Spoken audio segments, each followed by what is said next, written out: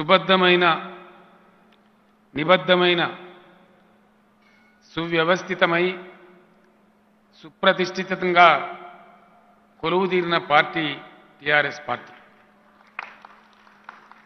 ఎనభై ఎనభై శాతం మంది పరిపాలనలో భాగస్వాములుగా ఉన్న ప్రజాప్రతినిధులతో అరవై లక్షల మంది పార్టీ సభ్యులతో సుమారు వెయ్యి కోట్ల ఆస్తులు అసెట్స్ రూపంలో కలిగి ఉన్నటువంటి సంస్థగా అనుకున్న లక్ష్యాన్ని ముద్దాడి రాష్ట్ర సాధన జరిపి సాధించుకున్న రాష్ట్రాన్ని సుభిక్షంగా తీర్చిదిద్దుతున్నటువంటి సమర సైనికుల కాపలాదారుల పార్టీ మన టిఆర్ఎస్ పార్టీ.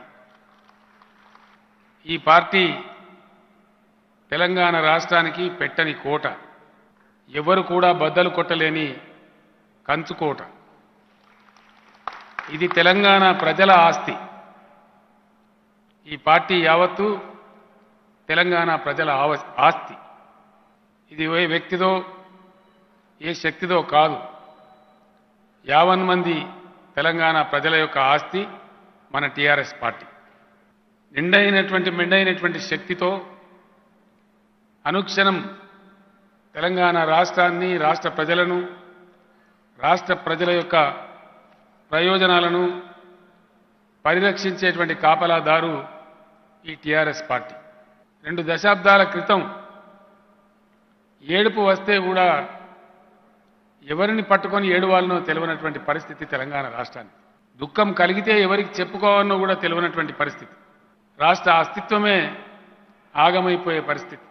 రాష్ట్రానికి ఒక సంస్థ లేదు ఒక పార్టీ లేదు ఒక నాయకత్వం లేదు ఒక దిక్కుతోచినటువంటి పరిస్థితిలో ఉన్నటువంటి సందర్భంలో ఉవ్వెత్తున తెలంగాణ ప్రజల గుండెల్లో నుంచి ఎగిసిపడ్డ ఈ గులాబీ పతాకం రాష్ట్ర సాధనలో అనేక ఒడిదుడుకులు అనేక అవమానాలు చీత్కారాలు దూత్కారాలు అనేక విజయాలు అపజయాలు అన్నింటి సమాహారంగా రాష్ట్రాన్ని సాధించిన విషయం మనందరికీ తెలుసు.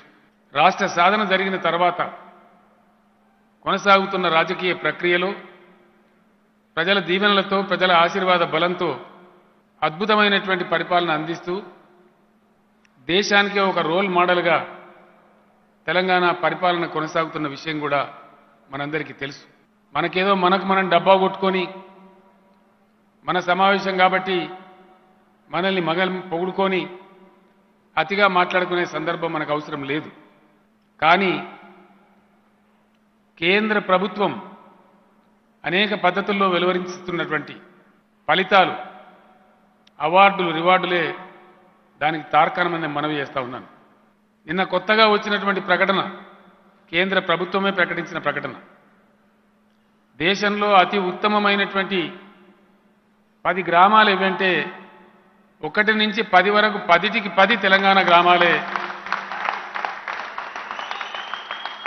ఎవడన్నా పదకొండవ వాడుంటేనే వేరే రాష్ట్రం కానీ ఒకటి నుంచి పది వరకు ఉత్తమమైనటువంటి గ్రామాలు ఇవి అంటే తెలంగాణ అని చెప్పి తెలంగాణ రాష్ట్ర గ్రామాలని చెప్పి కేంద్ర ప్రభుత్వమే స్వయంగా ప్రకటించినటువంటి విషయం. ఇంకో ఇరవై గ్రామాలు తీసుకొని మళ్ళీ పరిశీలన చేస్తే ఇరవైలో పంతొమ్మిది గ్రామాలు తెలంగాణ రాష్ట్రానికి సంబంధించినవని కేంద్ర ప్రభుత్వం ప్రశంసించడం మనం పనిచేస్తున్నటువంటి తీరుకు మచ్చు తునకాన్ని మనవి చేస్తూ ఉన్నాం.